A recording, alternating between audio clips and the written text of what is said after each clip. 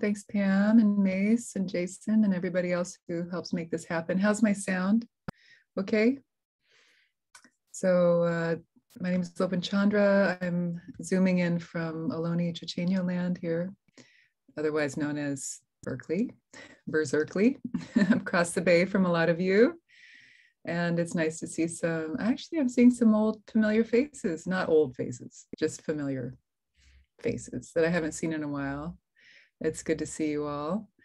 And uh, so, what I'd like to do tonight is start with a sit. And a long time ago, I mentioned that from time to time, I like to have us sit a little longer than we normally do. Normally, we sit for about 30 minutes. Tonight, we'll sit for 45 minutes in the spirit of um, Charlotte uh, Joko Beck's uh, advice every once in a while. Prolong your meditation sit by 10, 15 minutes. See how that feels. So, we're going to do that tonight. So please go ahead and make sure you are in a comfortable position, whether it's seated upright on a chair, a couch, uh, a cushion on the floor, whatever it is, just find your happy place. Uh, also, lying down in the supine position is a completely viable meditative pose, uh, one that I use quite often. So, lying down with a pillow under your head, maybe some a pillow or a rolled up blanket under your knees to support the low back. Nothing wrong with being comfortable in meditation. The trick, if you're lying down to not fall asleep, is to have one uh, forearm, one forearm perpendicular to the floor with the hand relaxed, and then if you fall asleep, it'll just flop down to the floor and wake you up. And as my teacher says, Alan Wallace often says, look, if you fall asleep during meditation, it means you need needed a nap. Don't beat yourself up about it. You can take a nap and then meditate after or later when you're more crisp. Now, having said that, I also like to say, and um, as does Alan and other teachers say, it's important when you're meditating to try to have as much wakefulness and clarity as possible so that you're cultivating qualities of wakefulness and clarity, not dullness and spaced outness, because we can cultivate those qualities as well, and that is less optimal. so, you know, be clear. If you're tired, let yourself just let go. If you feel like you've got it, even if you're a little tired, but all it takes is a few breaths to get you over the hump. I think a lot of you, like me, have found that in the beginning of a sit, sometimes I feel um, too tired. But the the beauty of, of uh, grounded, relaxed, authentic meditation practice is that it is rejuvenating, it is restorative. So let it be restful for you. Notice if you hold tightness or bring any kind of um, pushing energy to your practice and let yourself unravel that, unwind at the end of a busy day, probably for most of us. So now that we're settled in, please uh, allow your eyes to close And begin by taking a few nice deep breaths, luxuriating in the deep in breath and the release of the slow, freeing out breath. Noticing if you're holding tension in the face or the shoulders, the back, the belly, the hips, and so on. And scan the body and release as much as you can with each out breath.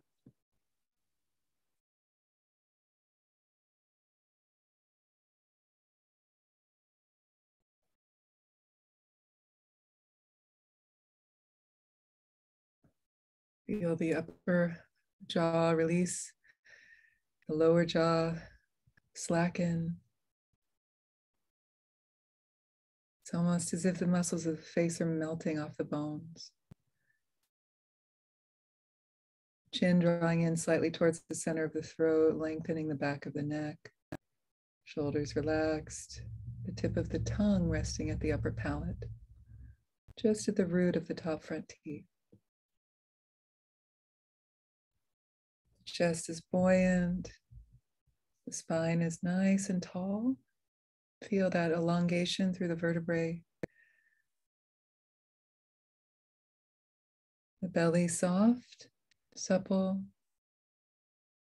The hips comfortable at ease, the legs in a comfortable position, feet on the floor in any shape that feels good for you, or crossed on your cushion.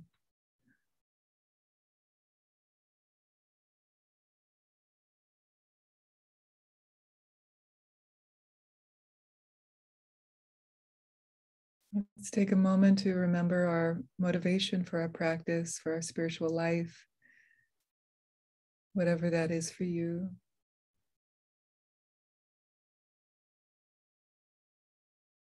Maybe speaking aloud or internally your prayer, your intention.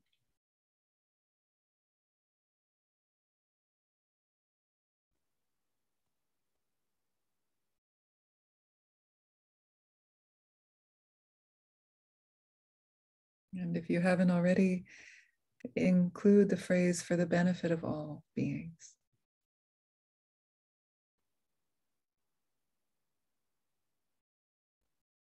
Recognizing that as we cultivate an inner sense of balance and knowing and clarity and peace that ripples out and brings benefit in ways seen and unseen.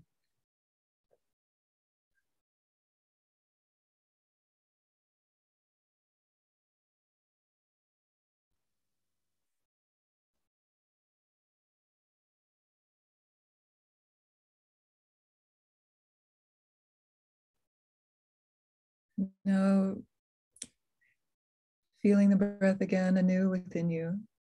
Maybe a little release so that the breath is more of a natural flow. A helpful image that I bring about quite often is the image of a sleeping baby. If you've ever watched a baby sleeping in its bed or crib, it's such a beautiful sight to behold this natural breath, so full bodied and at ease. It's total surrender.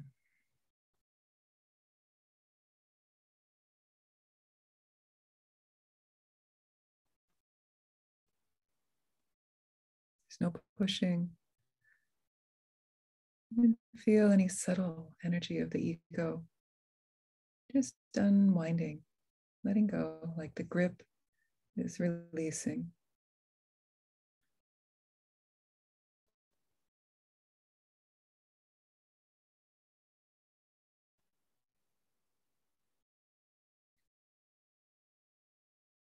Right out of the gate is a way to bring about a sense of clarity and f- focused concentration within the space, the field of relaxation. We'll spend some time at your own pace, mindfully attending to the breath for 21 rounds of the breath at your own pace. The top of the in breath, an internal count one, and then breathing out just attending to the sensations of the breath as it moves in and out of the body. At the end of the second in breath, count two, and so on. Quiet, a light touch. The main focus is the sensation of the full cycle of the in and the out breath. Practice in silence. Releasing distraction, staying with the breath.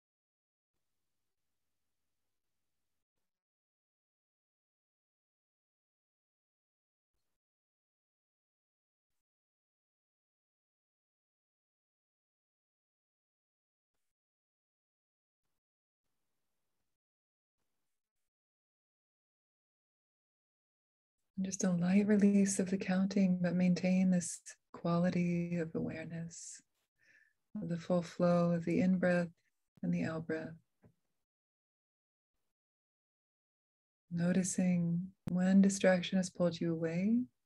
If you wish, you can label it thought or distraction, whatever you wish. And gently, with love, bring back your awareness like you would a, a wandering child. Come back, put your awareness in your lap, and flow with the breath in and out. Develop the pleasure of the focused mind. Yes, that's a carrot. Exert a little effort, but without tension. Stay in the moment. And we'll sit in silence for a while longer. Tending to the sensations of the breath. Remembering the sati is remembering to come back again and again to this present moment in the body with the breath.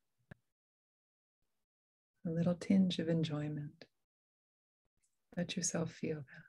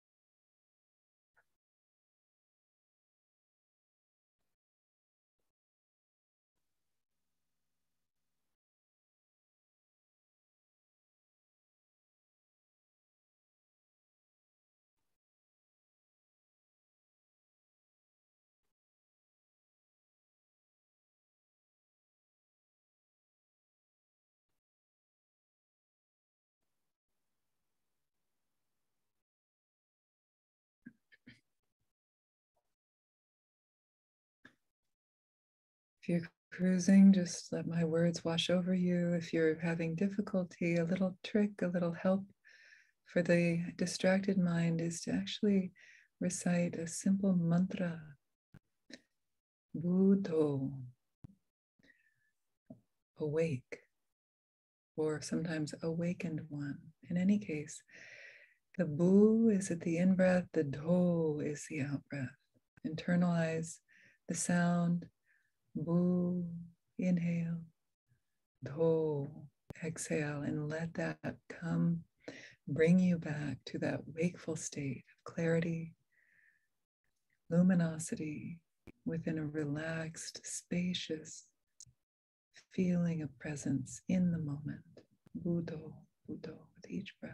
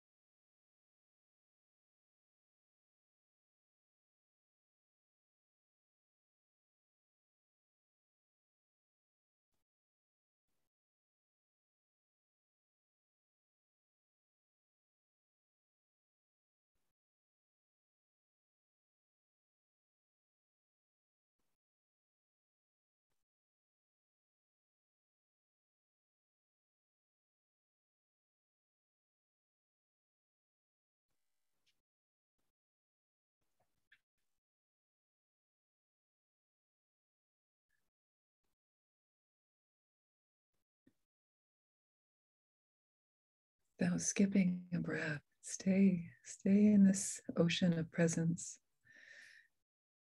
And recognize that, in fact, every breath is a tonglen, ascending outward, receiving inward to yourself, to the world. It's natural. Tonglen is happening all the time. And that extension out into every breath is lojong. Every breath is a mind training. In fact, you've been practicing all along 24 hours a day without knowing the beauty that's always happening.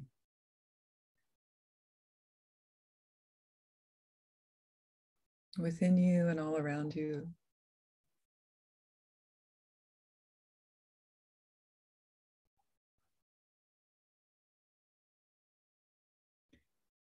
And let's step more fully into that dimension of Tonglen.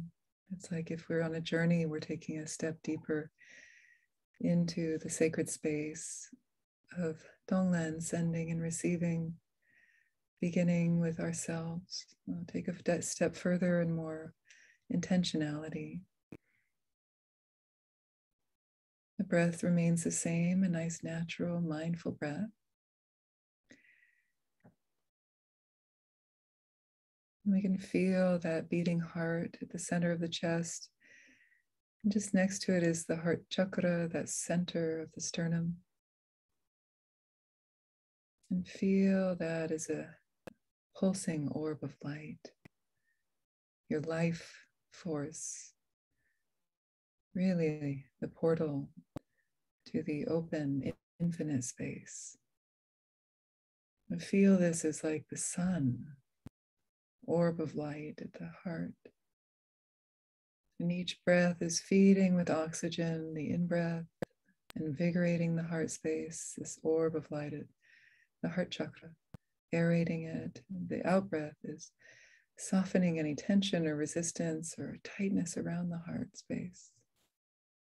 This basic level of self tonglen, breathing in and breathing out through the heart. Remembering that that portal, that heart luminosity is your Buddha nature, it is the Atman, it is the spark of luminosity within all of us. God, however you want to call it, goddess. It's our divinity, and that is undying and cannot be harmed. So as we breathe in, we can have the courage to breathe in any hardship, perhaps in our emotional, physical field or mental field, pain or any kind of suffering you might be holding or carrying with you. Invite it with the in breath into that heart space. Let it be, let it come home. And then with the out breath, release any resistance to that. Release the grip the judgment, the resistance, the anger. Inhale, bringing it in again. With each breath, you're breathing in, presencing and coming home to the heart. And breathing out, softening and opening and circulating. And letting the so called poison be transmuted into medicine. The inhale is in the poison, bringing it into the heart, transmuting it through that luminosity and then breathing out, letting it transform and become your energy field, your life force, nectar. Be specific. Maybe you have resistance towards somebody.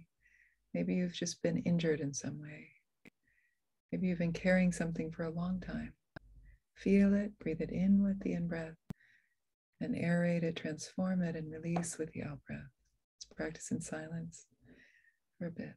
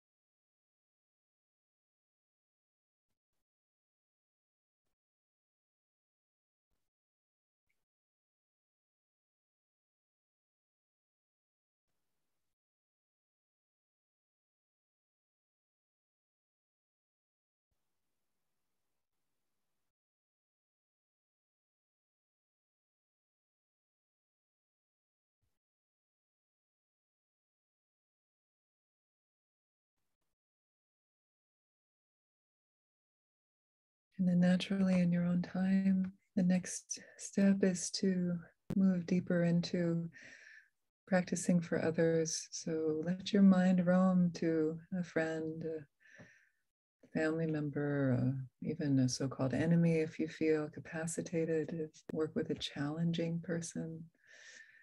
In any respect, whoever you work with, bring them to mind as clearly as possible in your mind's eye in front of you, remembering how they looked the last time you saw them. See them there, make contact with their eyes, and see any hardship, any suffering, confusion, delusion that they might be holding or carrying, surrounding them like a cloud. And with the in breath, draw in that smoky vapor into that luminous orb of light at your heart. Transform it just like you were with your own hardship. And then send out with the out breath a cool, clearing energy. Sending is the tong of sending, of healing, of well wishes. The inhale is the len, the taking in, transforming, and then sending out. Stay with the rhythm of the breath, the natural breath. With each breath, the darkness, the smog, fog around them is clearing, and they become lighter, more capacitated within their own being, more healthy, let your imagination inform you here. Trust yourself. Stay with the present moment with the breath.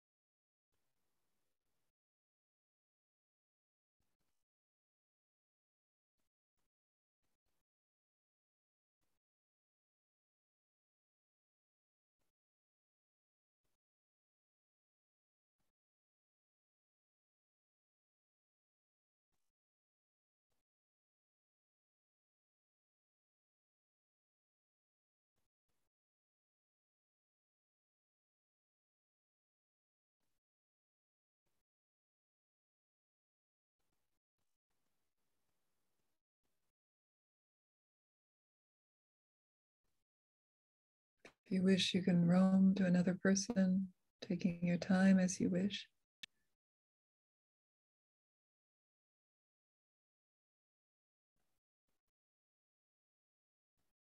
Even groups of people, animals, countries, communities. We inhale as we have the courage, at least in our prayer time, the aspiration to inhale and help relieve the suffering of this being or beings, transforming it at that immutable heart space, and then sending out a healing remedy, wishing them well. And may they also awaken to their Buddha nature, their true nature. Be free of suffering.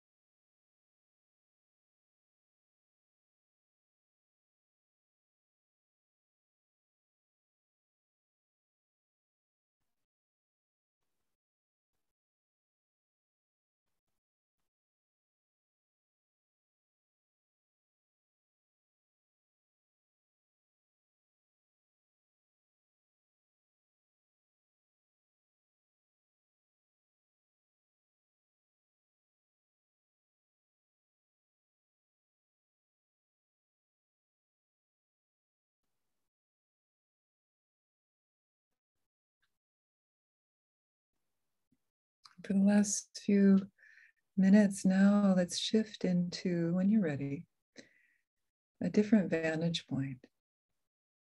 Imagine now, as our journey unfolds, that you travel to the moon and you're sitting on the moon practicing your Tonglen and looking down from the moon, from the vantage point, looking at our beautiful earth and feeling intuitively sensing the beauty and also the tragedy of all of the stories, the lives, the karmas upon this planet Earth.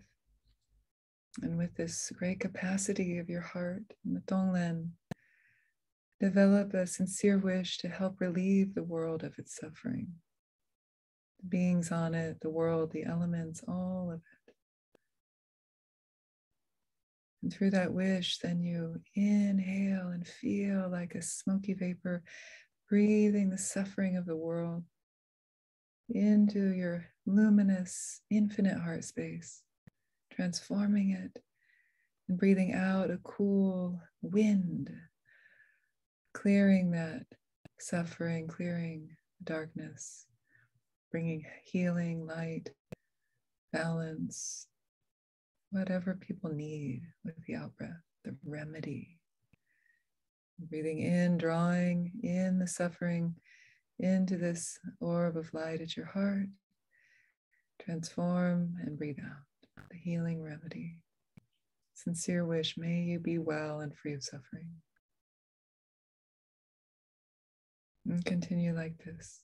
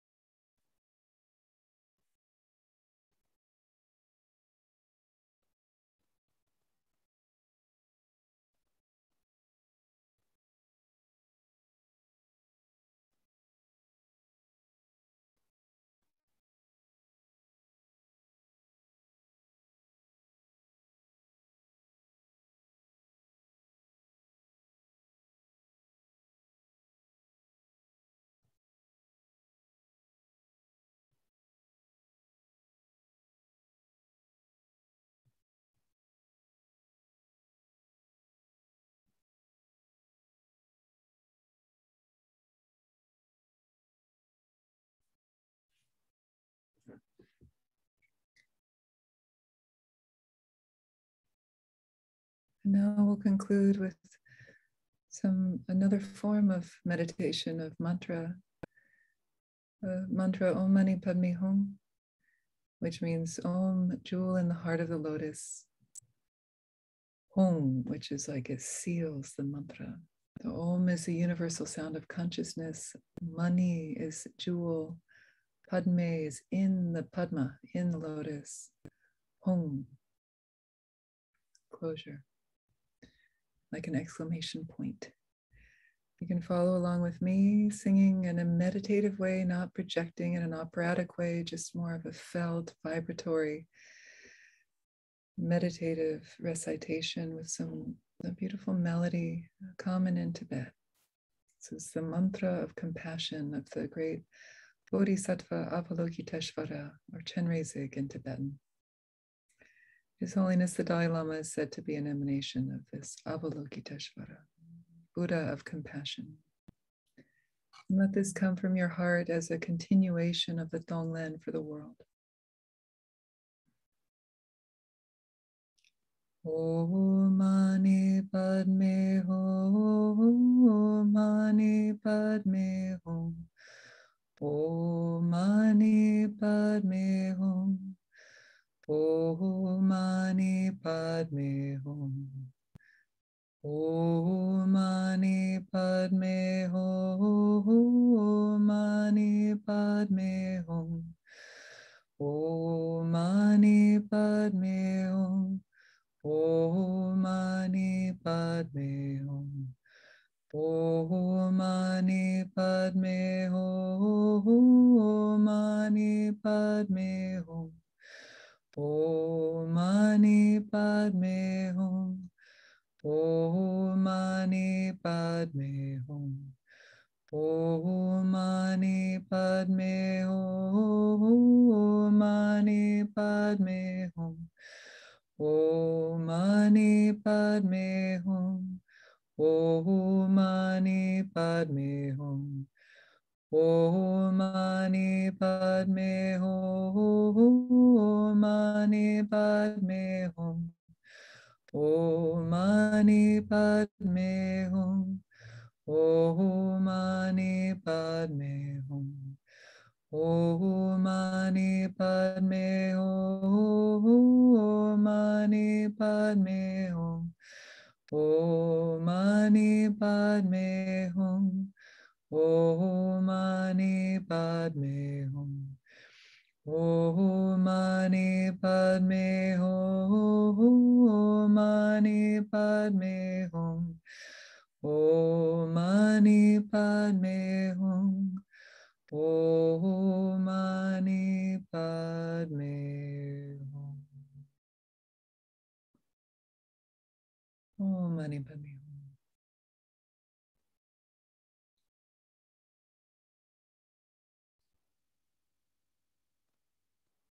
you. Slowly begin to come out, come back to our room together.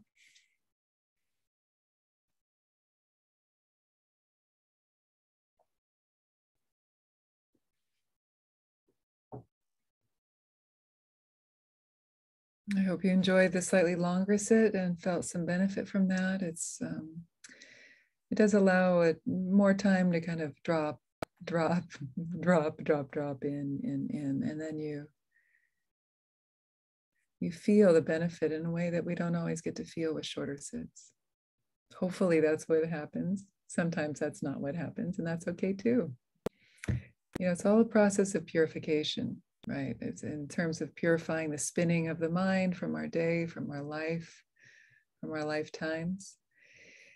And often for me, what I've experienced in retreat or my daily practice is there just needs to be allotted a gentle time to unravel without too much judgment or forcing of anything to happen. Sometimes we just need to unravel for a while, right? Is that true for you too? Yeah. Oh, this two dimensional Zoom room is getting really old. I can't hear you. I can't feel you. I, it's so quiet over here. Why don't you, anyone have any questions, comments? Oh, good. Thanks, Denise. A little, a little blip from the ether sphere. um, oh, you wanted it to continue. Reminds you how weak I have let my back become. Yeah, I know. Where are you, Denise? yeah, I know. Uh, yeah, sometimes the backache is very distracting. And uh, that's why the supine position is nice. And then in between practices, some yoga, some Pilates, some running, some surfing, whatever you do to stay strong and active. I like to walk. I'm a walker and a yogi. Those are my two happy places. Um, swimming is also so good for the body. Yeah. yeah, yeah, you lay down. Good. Let yourself lie down and unravel. right. And then you didn't want it to end. And the hand up that was manageable, right? You can, you don't have to exert too much effort if you're aligned with gravity. Right? You know, it's not distracting. Yes, good. Okay. Anyone else? Any voices want to come through? I have a question. Five minutes. Yeah. Uh huh. Is that Lindsay? Hi, yeah, Lindsay. Hi. Hi. Um, this is something I've dealt with on and off for a long time in my practice, but I'm, however, I used to deal with it, I've forgotten, I forgot what was helpful for me, but I noticed that um, when I first start breathing, and especially when I'm given sort of guidance around how to breathe, what I notice most is breathe, my constriction. Mm-hmm. And it becomes like I I start to feel like, oh, I'm not able to take a deep breath. And it's like, I'm not sure. It doesn't seem to correspond to actual like anxiety I have in my day. It seems just like a, a focus yeah. thing. Mm-hmm, and, mm-hmm. and then I then I'm conscious of I don't want to be in a space where I'm trying to like beat my body into submission and be like, just breathe, breathe deeper. Um, so do you have thoughts about how to yeah great question i used to have that too i'd get yeah, it, it, there's something about the focus. Sometimes when we bring focus to something that we normally don't think about, it's just so natural. It can cause that a little bit more uh, constriction. And um, I found that meditating lying down helped me let go of that.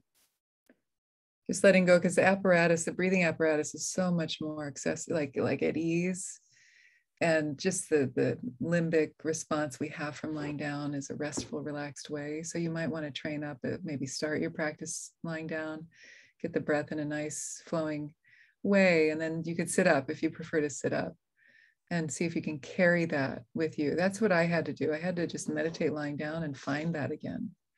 I would get tight in my belly. Um, yeah, and it, it, wasn't necessarily because of a thought of anxiety. It was more of that feeling, like you described, of just bringing my focus to it, and suddenly it's a little bit too um, palpable or too under the microscope or something. Uh, so I hope that that's helpful. Um, the other thing, you know, I had a, I remember one of the first, you know, as a young Dharma teacher, I, I think it was my first retreat. I had a, a, a, man who had been studying with me in another context in like a weekly class, but he um, he would get in meditation and he would do this heavy breathing. Like suddenly, like the, the guy with the normal he, daily breath was fine, but he would turn into this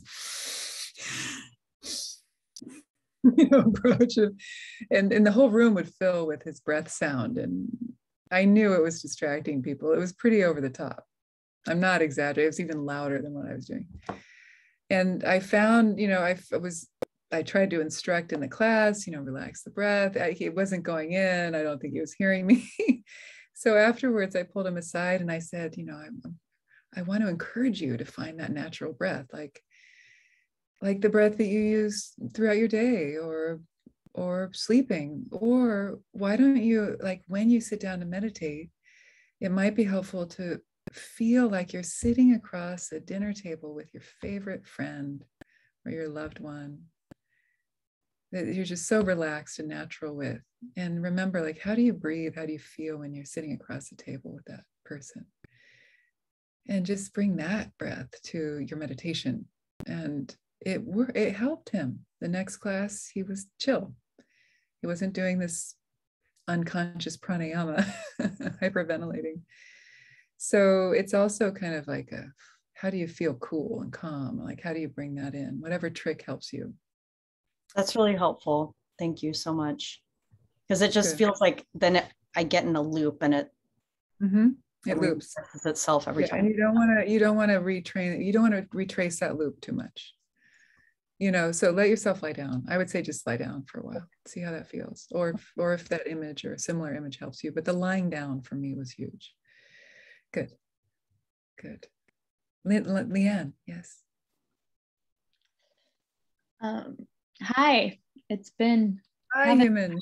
I haven't been back well since before the summer, so this is really lovely and necessary. Oh, welcome back. Thank you.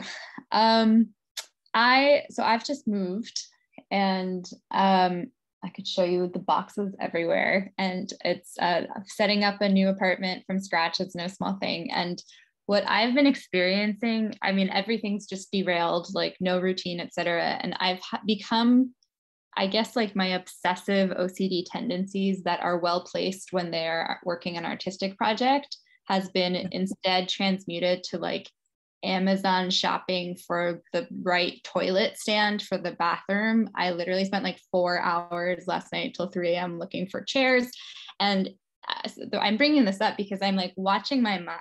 It, it feels like I am just along for this ride and my mind is like out of control and there's like an addiction. Like I'm, I've, mm-hmm. there's like some, I'm feeling these neural pathways and I like will step away and lie down or go for a walk and like still I'm just like planning where the plant goes, blah, blah, blah. And I guess my question is, and so, and I've fallen off of my practice and everything and it's like how this is helpful where to find your way back with like one step but in and i've certainly thought about the mindfulness of like okay and there's been moments of separate take a breath like try and rewire but it's so far that even in the i'll have you know 30 seconds of it and then i'm just gone again and mm-hmm. it, like mm-hmm. starting to not be cute. It's like been a couple of weeks and I'm concerned for like my dad has Alzheimer's now and I'm like I'm this I'm certainly on the path. And so I just wonder like how do you when you really are watching your mind like do crazy things and are aware that like neural pathways need to be rewired and yet like the simple act of focusing on your breath feels like you're it's not enough what how do i find the way back and liberate myself from this situation do you do yoga or qigong do you have any uh, different kind of phys- physical meditative practice you could lean on yeah yoga i've i started going twice a week so that definitely helps it's like that's fine. Can you roll your mat out at home and do it at home? Like make your little island of sanity at home. Even in the middle of those boxes, roll your mat out and, and designate that as your space. And just do three sun salutes, just or whatever. Don't just and breathe and bring your mindfulness to the breath because what my sense is is that because of experience too for me is that um, moving unsettles the prana you know moving is destabilizing for your your body and your mind so the body the breath and then the subtle energy the prana the winds like the circulatory system influence the mind so in a way it's like because you're you're kind of hovering in a kind of a, a loop or spinning out right this feeling of ungrounded spin out the mind might not be able to be the one to bring it back, right? So come, coming at that issue from a different angle through your body, coordinating your movement with your breath, that is shamatha, right? That's the Buddha said, practice mindfulness in the four body postures. Basically, that was shorthand for like your whole day, like everything you're doing. He said sitting, standing, lying, and walking. But really, like yoga is a form of walking. you know. So okay, so here that's that's my piece is do it through your body because I can tell you've got your your you've got uh, good dynamism in your body. You know, you're an embodied artist type. So so find your and and yoga can bring us down to the grounded balance place. And don't think you have to go out to a class. Don't do that. I mean you could do that but just do three sun salutes and a couple seated postures then lie down. That's all you need to do. Okay part two. I just had this feeling that get this book food for the heart it's a book I recommended a few weeks ago. It's a book that I used on my retreat that I would listen to, get the audiobook or another Dharma book that you like, but like a practice, like a essence direct teaching, you know, and put it in your earbuds or in your speaker as you're unpacking. Like let that saturate your your moving and your unpacking and your shopping online and all of that so that you've got you need some support right now you know, and that will help create, it will buttress you. It will, but you can't do it alone, Leanne. You know, this is hard. Moving is really hard. I'm always yeah. Thank you. Yeah. So get, get some wisdom coming in through the ear sense, the ear sense faculty with the, the Ajahn Chah. It's his oral teachings to his students written down by people like Jack Kornfield and so on. And food for the heart is just that that locked me in when I was in retreat, feeling alone, feeling totally fed up with my monkey mind. Like, this is, you know, dire. um, and I really, I really benefited from that, and it really inspired me and helped me find my ground again. We all have a crazy, you know, we're all nuts. Maybe that's too flippant to say it like that, but you know, we're all addicted like you said, you're not the only one. We are all addicted. And it's like when we start really meditating and looking at it, it's we think it's getting worse or we think we're so horrible, but actually it's the natural habitual state of all of us through lifetimes, if not just this life. So, mm, but that's okay. You don't have to overthink that. You know, the moment is what you've got. Liberate in the moment, natural liberation of the thought.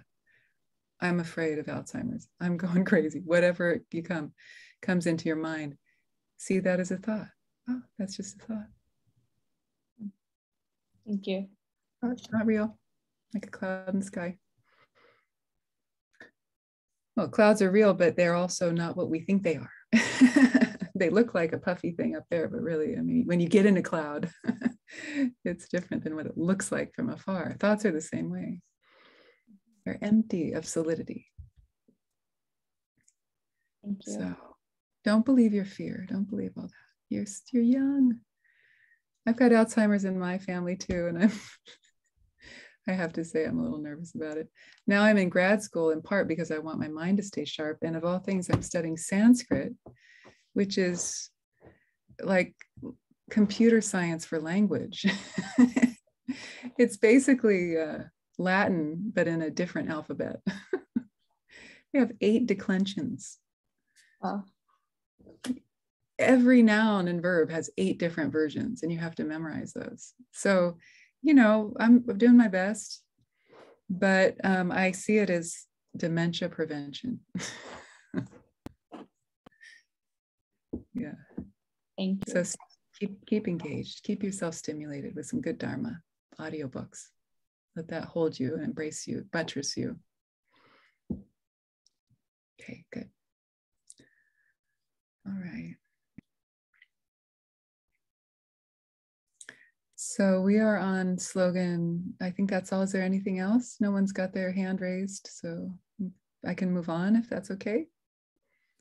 All right, so we're nearing the end. There are 59 slogans, and we have in this particular matrix of slogans, there are different mind training systems. But in this system of the Chekawa Yeshe Dorje, who wrote this seven point mind training text, there are seven main header points and there uh, within those headers like chapters are many one liner slogans right so tonight we're on slogan number 56 each night we we try to address one or two And so, what I wanted to say, I don't know if Eve mentioned this last week. She's on retreat, so I wasn't able to check in with her about what she shared last week.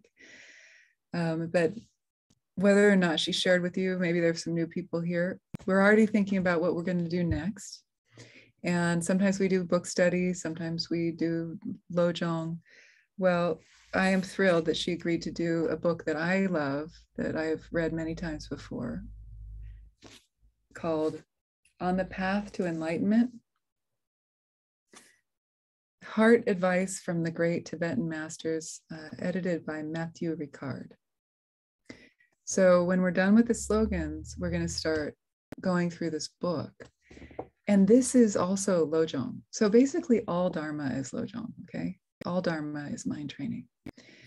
And this is actually also called Lojong because what he's done is he's mined some of the greatest teachings and the greatest quotes from the greatest teachers from all the different schools of Tibetan Buddhism and consolidated them in this amazing book that goes through the mind training system from a eh, from a different angle, which is more like the ngöndro.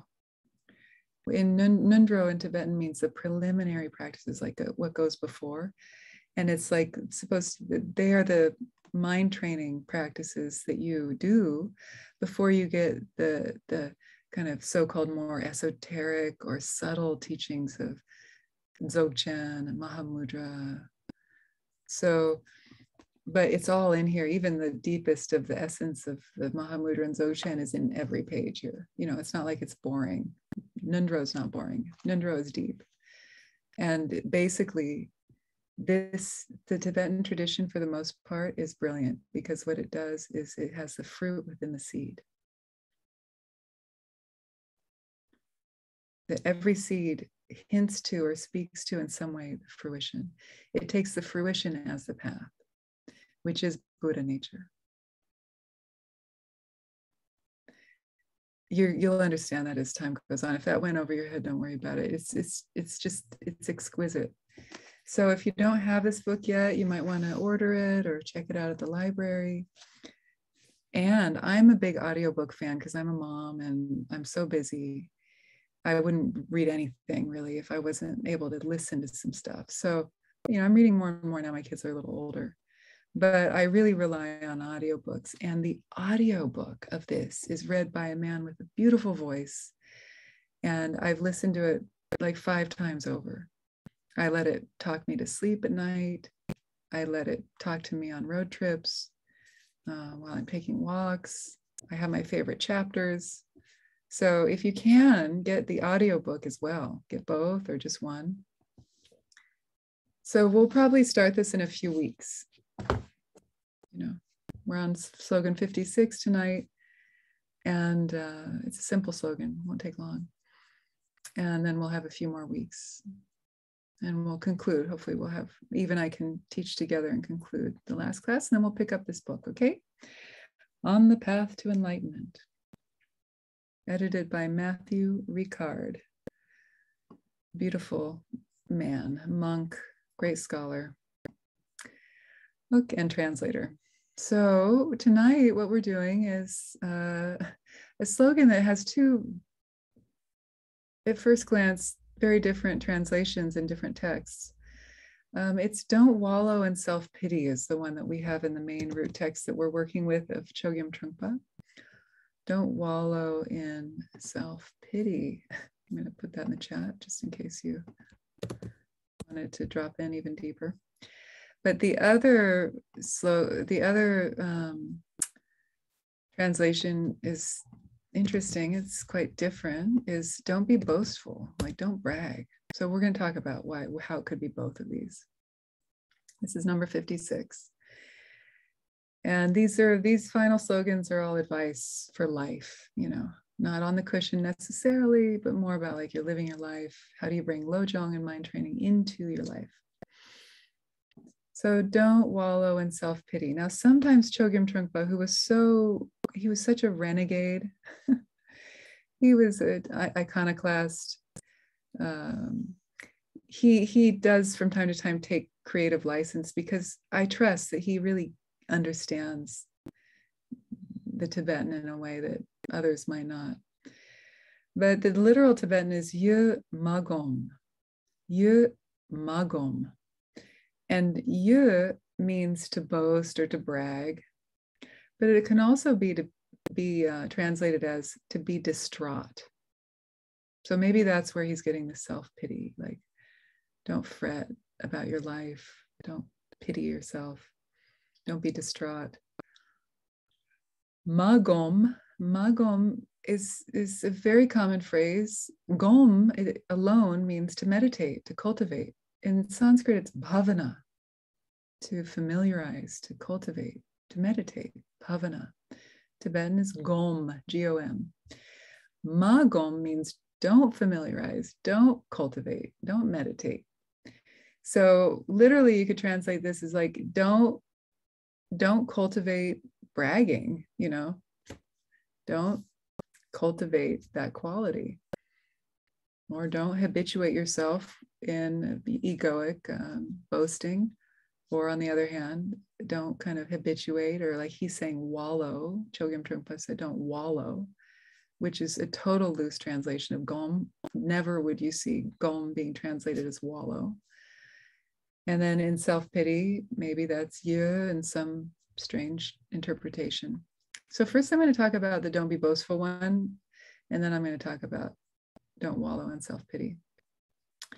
Another nice translation by Dzigar Kongtrul Rinpoche is don't feel the world owes you. It's so interesting how different teachers have different interpretations. Um, don't wallow or don't feel the world owes you. So that's more in line with, um, well, it's in line with both of those in a way, isn't it? Because when we brag, in a way, we kind of think that, you know, the world owes us something or owes us respect. But when we're wallowing in self pity, it's also another way of feeling that the world owes us or we're cheated out of our right to have this or that. So all of these overlap. So you can decide which one works best for you. But going off of this, this, this, I think, lovely phrase, don't feel the world owes you. Um, as a Lojong practitioner, right, as somebody who's committed to the path of waking up and being a benefit in the world, who wants to train, who understands that the mind is an important thing to train and is committed to mindfulness and wisdom and compassion, as a Lojong practitioner who's training in letting go of our small sense of self, the isolated, egoic little me, mini me, um, and then serving others through our actions, through our words, through our thoughts and deeds. What Dzigar Kongtrul says is to be careful not to think that people in your life owe you something just because you're being righteous or good or you know it's you give something. Be careful not to expect something in return right? And we do. Oh they didn't say thank you. Sometimes that really bothers me right? Of course it's polite to say thank you and people should say thank you but at the same time give and let it go yeah? It's like arjuna with the arrow bow and arrow in the mahabharata epic of Indian lore. Uh, Krishna says, when you let go of that arrow, you have to let go of any investment or attachment to the outcome of where that arrow goes. You no longer have the arrow. So, in this way, like you give or you do something, don't think that the world owes you something in return. Nothing is guaranteed. And you know, that payback might come in ways that we could never foresee anyway. So just let it go and see what comes back when it comes back, if at all. So what Dzigar Kongtrul says is be careful not to get puffed up and think, oh, I'm so special because I'm a Dharma practitioner. Oh, I've got this mala around my neck. Don't I look like a holy person? You know, like don't do that. You know, like the Lojong practitioner is down on the down low. It's not performative. if anything, you know, we we want to fly under the radar and let the magic happen, you know. So Dzigar Kongtrul says shifting our affection from our ego to other beings will ultimately free us from all the sufferings of samsara. Maybe I'll just paste that. I like the way he worded that. Shifting our affection from our ego, because normally we're very affectionate towards it. I mean, also some of us aren't so affectionate towards our ego, and that's a whole nother story. But this kind, even like self berating is a form of ego fixation, you know, it's still kind of like a self um, absorption. It's a painful one, but it still is self centered in a way. I mean, I'm not shaming it. It's just funny, actually. It's um, deceptive, it's a sneakier self absorption. So he says, shifting our affection, you could say, or our absorption onto our ego to other instead to other beings will ultimately free us from all sufferings of samsara. That's Lojong in a nutshell. Minimizing all our self-cherishing and maximizing other cherishing. That's our one-liner elevator speech. If somebody says, What is Lojong? Okay, does everybody have that? If I don't teach you anything else in these years of Lojong, that's all I want you to remember. I will feel I've done my job. Increasing cherishing of others and care and compassion, that beautiful heart that just flows so naturally. It doesn't take effort once that dam is broken. And it's blissful, it's joyful, it gives rewarding in the most profound sense. It's not like, oh, I have to help other people. you know, it's like you want to be a benefit. It brings you so much. So the increasing, the flourishing of that and then the dwindling, the trickling of the, the floodgates that feed the separate sense of self, that minimizes.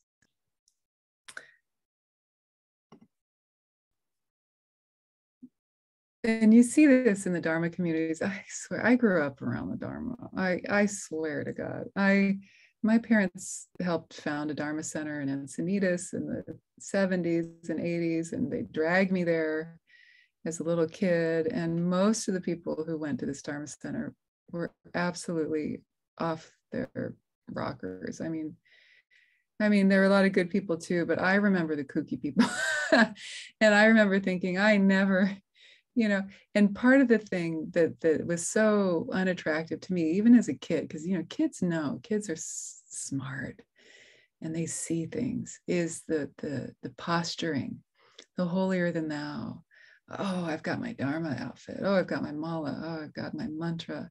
And the ego that can get inflated and the tendencies, the insecurities that then can be masked by that. For me, I, I swore I would never be a part of any Dharma community, any Sangha ever. Like I was, I was basically revolting against all of that until I had to coming to Buddha moment and needed some help. And then really found my teacher, Lama Tsultrim, who had created a brilliant community that was very much about emotional intelligence as well as spiritual growth. That's what for me was missing in those other communities that I grew up with. People would be assholes so that they could be first in line to get blessings for the Lama. You know, it's that kind of thing. Now, having said that, when I lived in Dharamsala, in North India, where the Dalai Lama has his government in exile. When I was 23, I went and lived in Dharamsala for a year. And that's a huge community of refugee, uh, Tibetan refugees coming to live near the Dalai Lama, to study with him, to receive his blessing. And every once in a while, the Dalai Lama would come out of his compound and give a teaching or hand out some little blessing pills or give refuge ceremony and so on. And I'll tell you what, those elder Tibetan women, those grandmas were tough. They would push and shove and do anything to get to the front so that they could get their blessing pills from the Dalai Lama. You know, so I remember thinking, okay, that's funny. This is everywhere, you know and I would always be like, yes, you deserve to be. Yeah, absolutely. This white woman does not need to be first in line. you go. you know? Okay, so that's my uh, side tangent. Now, what I started thinking about with this slogan is the humility, you know, the beauty of humility, such a great quality. And when you know, when we're in service to others, there is a feeling of a groundedness, like we walk on the earth, we know where we stand. And it's also uplifting and it has a positive effect in our, on our mood, on our life, our self um, you know, image, who we are. And it is this humble stance that Lojong helps us to cultivate and actually enjoy. It's not a chore, right? To be of benefit, to be a good person. So we don't need to puff ourselves up with accolades or pride when we're a Lojong practitioner. Um, and think about the people in your life, the humble people, especially those who are actually accomplished and have every right to brag about what they've done or who they are especially when those people are humble. It's, it's really poignant. And maybe, you know, in a way, it's the people who don't feel good and who they are that feel that they need to puff themselves up and brag. It's the people who have kind of know who they are and, you know, achieved their sense of purpose. They, then they finally feel like, okay, I can relax. I don't need to be that anymore. I don't need to brag. I don't need to do that and they carry themselves with a quality of wisdom that that inspires others so we can all be that. We can be that. So then i googled some great quotes about humility and i want to share a few that i liked with you. This is the first one is from cs lewis. He said humility is not thinking less of yourself. It's thinking of yourself less. That's worth posting in the chat.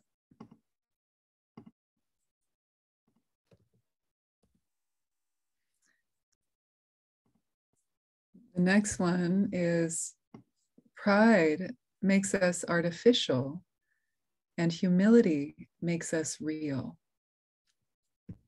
by Thomas Merton, which I, when I read that, I said, that's true. That's true. I'll post the, the all of these in a minute. Then the last one, I think this is the last one, yeah, is from Alice Walker. She said, Thank you is the best prayer that anyone could say. I say that one a lot. Thank you expresses extreme gratitude, humility, and understanding. So now I'll just wrap up as promised.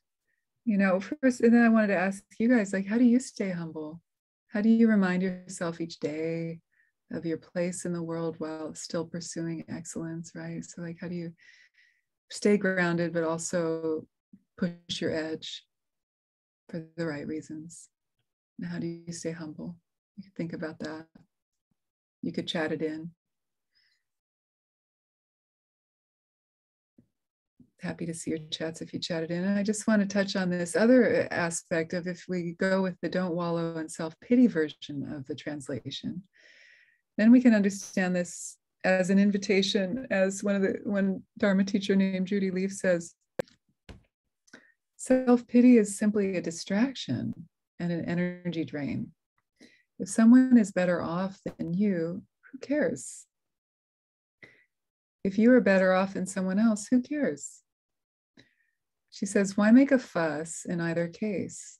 Instead of wallowing in your own fascination, either with being special or not getting what you deserve, you could practice thinking of others for a while.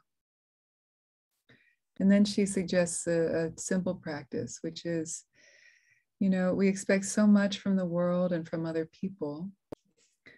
And when those expectations are not met, we feel angry or sorry for ourselves. Maybe not all of you do, but sometimes we do, maybe.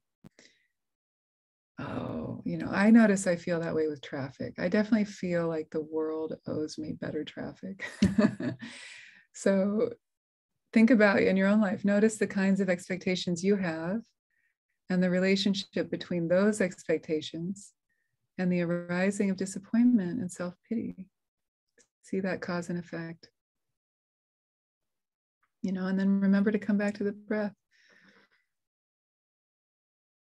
And recognize, you know, the world doesn't owe me anything.